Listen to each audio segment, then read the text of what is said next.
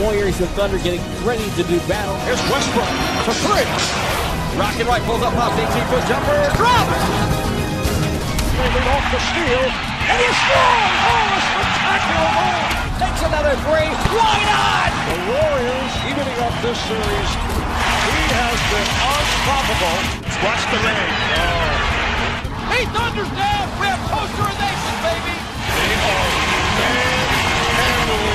The defending champions.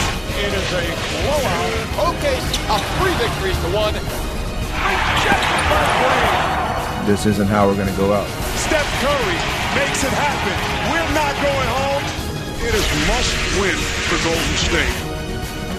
Klay Thompson shooting them back into it. He has his swag back. This heads to a game seven